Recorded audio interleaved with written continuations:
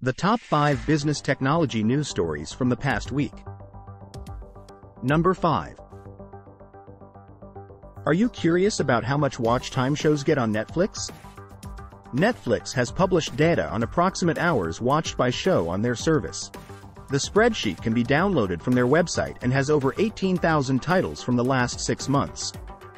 Netflix plans to publish this data every six months going forward. Number 4. Twitch, the online streaming platform, updated its content policy to allow artistic nudity, and days later rolled back the changes.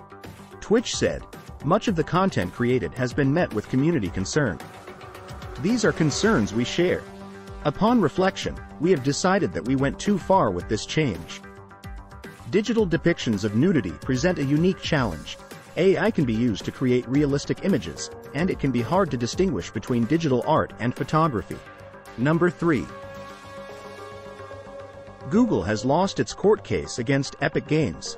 The jury determined that Google turned its Google Play App Store and Google Play billing service into an illegal monopoly. The judge in the case is scheduled to consider remedies next month. Interestingly, Apple runs an almost identical store on their platform and won a similar case in 2021. Number 2.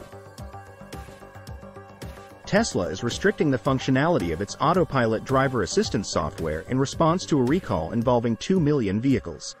This recall marks one of the initial outcomes stemming from an extensive, ongoing investigation by the National Highway Traffic Safety Administration, NHTSA, the United States' primary automotive safety regulator.